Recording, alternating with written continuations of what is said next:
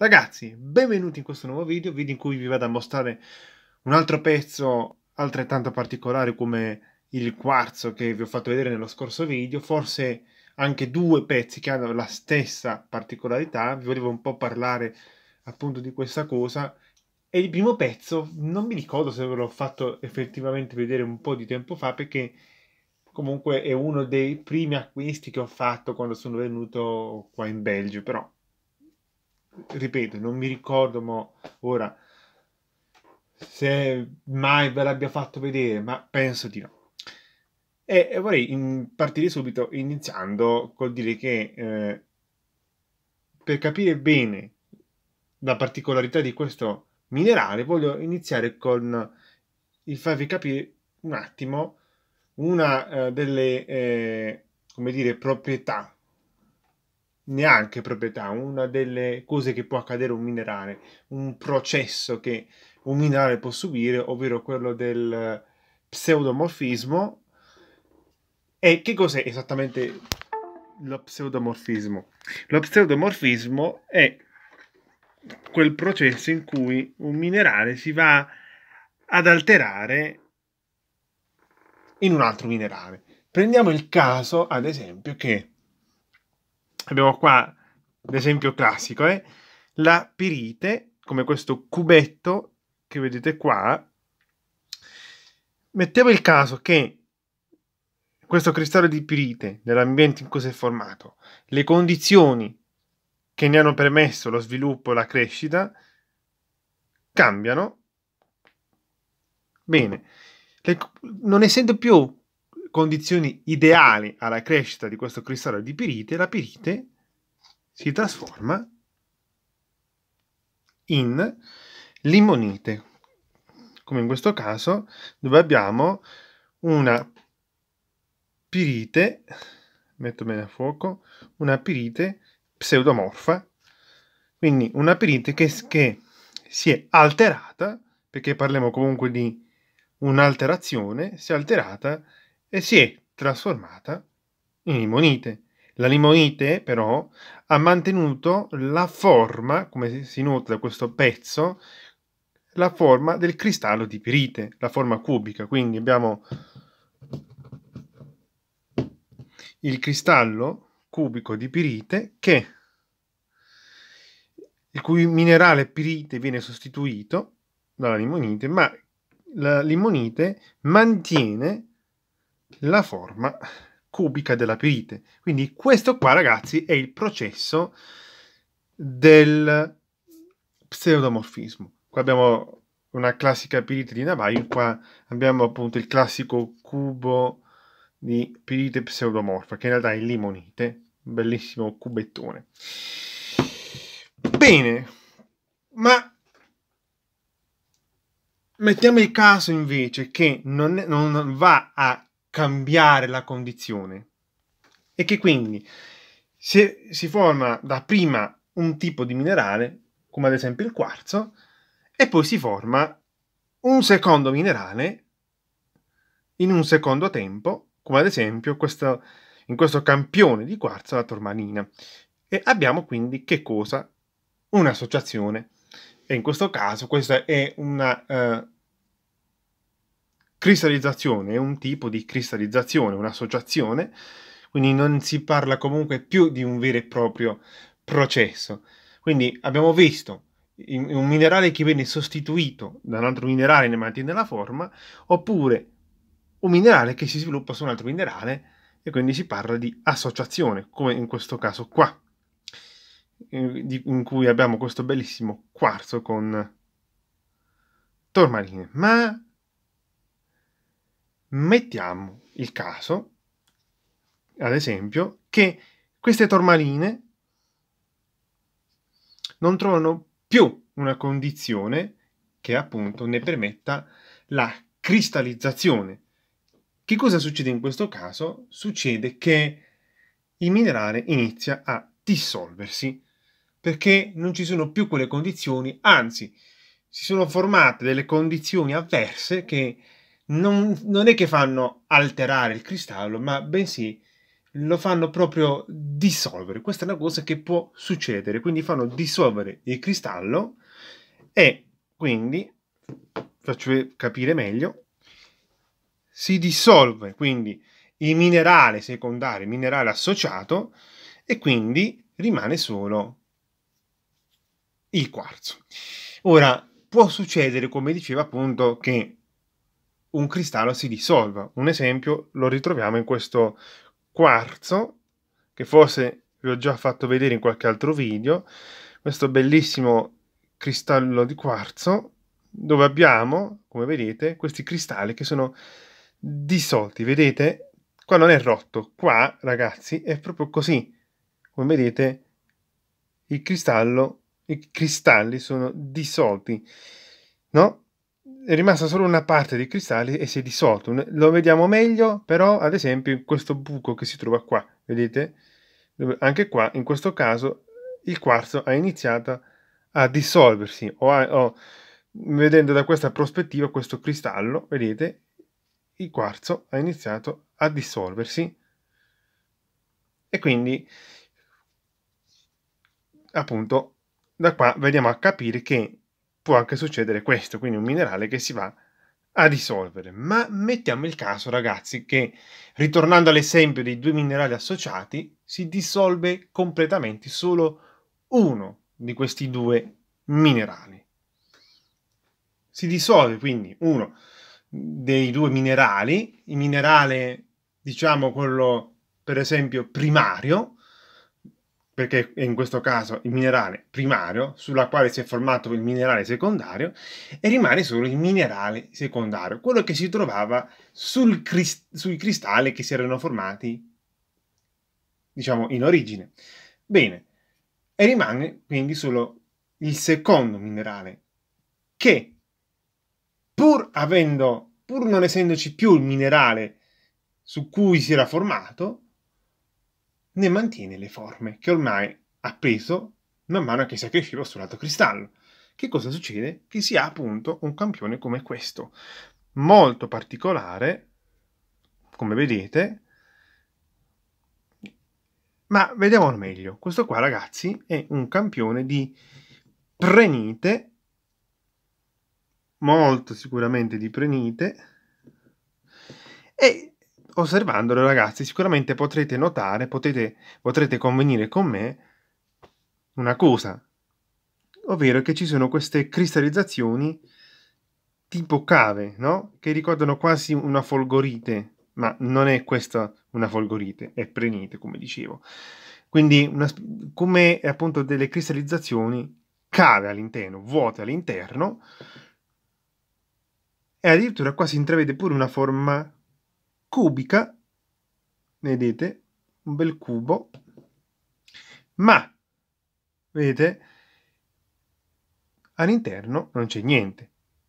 Quindi, questo pezzo qua, ragazzi, questo particolare campione, è un campione, quindi, che presenta questa caratteristica qua. Si era formato su un altro minerale, che, che in questo caso erano due tipi addirittura di minerali. Abbiamo queste forme allungate che potevano essersi accresciute sopra cristalli di quarzo o cristalli di tormarina, anche qua, questa forma qua, e questa forma cubica, che quindi poteva essere una fluorite o, non lo so, una pirite. Quindi c'erano due mineralizzazioni, due minerali sotto, si è formato questo sopra, i minerali che si trovavano sotto si sono dissolti ed è rimasto solo questo campione qua, solo i minerali che si era formato sopra, che ha mantenuto le forme dei minerali che c'erano sotto. E quindi abbiamo queste forme allungate, la forma cubica qua, ma vedete è vuoto. Da questa prospettiva si vede che la parte cubica è vuota, è completamente vuota e anche le parti cave. Forse da qua si nota un po' meno, ma da qua, ragazzi, vedete, ci sono tutte queste forme qua cristallizzate che sono forme cave. Quindi può succedere questa particolarità, quindi è questa la particolarità di questo campione. Si è formato su un altro minerale, poi l'altro minerale si è dissolto ed è rimasto solo questo con le forme dei minerali di sotto. Ora, non mi ricordo adesso il termine esatto con cui si descrive questo processo e non ho mai visto altri campioni del genere, però è una cosa che può succedere e infatti ho un altro campione che presenta la stessa particolarità che adesso vi faccio vedere, però prima di farvi vedere quel campione appunto questo qua è il, il quello più bello, il, anche, anche l'altro in realtà è bello, però è quello più particolare, perché addirittura qua c'erano due tipi di minerali che poi si sono dissolti. Quindi questa prenite, penso indiana, quindi chissà che pezzi c'erano sotto, che, che minerali che c'erano sotto. Se voi avete qualche idea scrivetemelo nei commenti e magari se, di voi, se c'è qualcuno di voi che mi segue da tempo scrivetemi se ve l'ho mai fatto vedere questo pezzo o meno, perché non mi ricordo adesso. E, e niente, quindi adesso vi faccio vedere qual è invece l'altro pezzo con la stessa particolarità. Allora, l'altro campione con questa particolarità ha anche una doppia particolarità, se così vogliamo, e adesso vi faccio capire perché. Il campione è questo qua. Questo non ve l'ho mai mostrato sul canale, però ce l'ho da qualche mese. Diciamo che l'ho comprato in un mercatino natalizio che si è fatto qua. Apparentemente sembra una classica drusa di ametista con appunto questo bel cristallo di calcite sopra, neanche magari completo, cristalli diciamo più o meno integri, più o meno integri, ma per capire la particolarità di questo pezzo lo devo girare così. E come vedete ragazzi, anche in questo caso sono rimaste impresse delle forme di un minerale che si era formato in precedenza. Abbiamo questi due cristalli qua, no? In questo caso il minerale che c'era prima era la calcite, come ad esempio questo cristallo scalenoedrico. Infatti vedete la forma è praticamente quella le due facce sopra, le due facce sotto. Quindi c'era appunto dentro, o meglio, sotto questi campioni, questo campione di ametista, la calcite. La calcite si è dissolta. Scusate se parla un po' così a scatti. La calcite si è un po' si è poi dissolta ma la drusa ne ha conservato le forme. Come vedete è rimasta la forma dei cristalli di calcite. Ma ragazzi, si è ricreata di nuovo sopra. Cioè, c'era la calcite scalenoedrica qui sotto, si è dissolta per, per, perché appunto non c'erano più le condizioni ideali, ma si è poi riformata sopra. E quindi in effetti questa è anche una doppia particolarità. In più ragazzi, cioè, questo, questo tipo di ametista è il classico tipo di ametista che viene ricavato dai geodi brasiliani. Infatti, non so se ve ne siete accorti, ma tutta questa parte qua è verde e normalmente un'ametista appunto brasiliana ha la, uh, la, parte di sotto verde perché è appunto uh, la parte esterna del geode dalla quale quella drusa è stata ricavata. Ed è così anche in questo caso, ragazzi. Solo che in questo caso particolare, addirittura c'era un qualche, c'erano dei cristalli di calcite su cui si era accresciuta questa ametista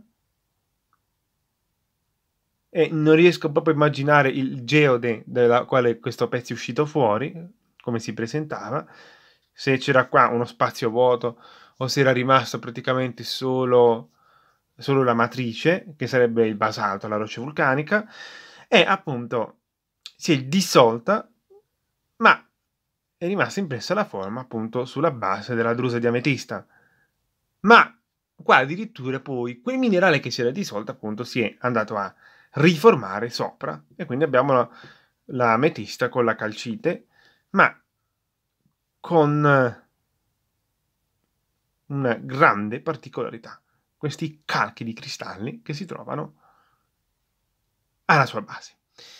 Quindi ragazzi, questi sono i due, due dei pezzi più particolari in assoluto che ho in collezione, dopo quello dell'altro video che avrete sicuramente già visto, quello appunto, penso, spero, quello appunto uh, rotto e ricristallizzato, e appunto dopo quelli, ecco, questi pezzi qua, minerali formatisi su altri minerali che poi si sono dissolti, ma hanno mantenute le forme di quei minerali che si trovavano sotto, che è una cosa simile allo pseudomorfismo, dove appunto il cristallo,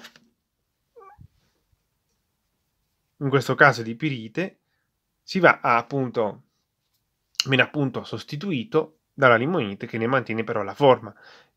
Quindi è un qualcosa di simile, dove appunto c'è una qualche reazione che, e quindi si passa da un minerale all'altro, solo che in questo caso appunto non c'è nessuna dissoluzione, c'è un passaggio da un minerale a un altro, ma il minerale resta sostanzialmente, mentre appunto in questa tipologia di campioni qua appunto il primo minerale, quello da cui si parte, poi si dissolve e resta solo il secondo minerale.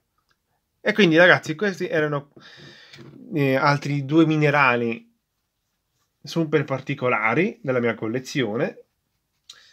E, e niente, quindi scrivetemi nei commenti che cosa ne pensate, se vi piacciono questi campioni, se avete campioni simili, ovviamente, di ametista, di prenite o di qualunque altro tipo di minerale. E, e niente ragazzi, eh, se non l'avete ancora fatto lasciate un bel pollice in su per questo video e noi ragazzi, come sempre, eh, iscrivetevi al canale se non l'avete ancora fatto, dimenticavo. E noi ragazzi, come sempre, ci, ci rivediamo in un prossimo video.